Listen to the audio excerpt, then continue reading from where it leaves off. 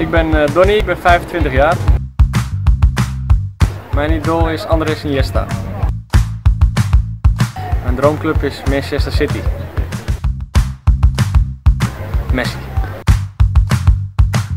Mijn lievelingseten is eh, patat. Mijn ambitie is om bij de top 3 te eindigen.